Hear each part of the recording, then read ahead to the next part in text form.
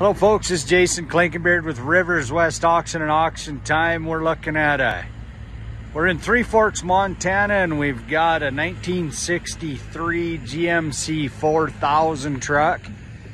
Uh, we just thought maybe somebody might be interested in buying this for a restoration project. Obviously it was set up as a water truck at one time and uh, but it's not too bad a shape. Um,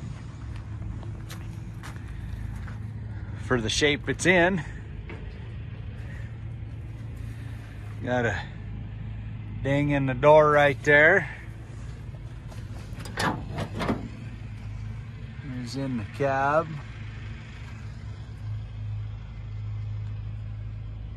Oops.